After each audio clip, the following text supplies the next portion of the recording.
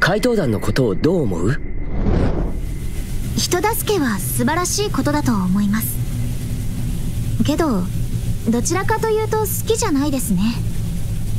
怪盗団のやり方は本当の世直し人助けになってない気がするんです。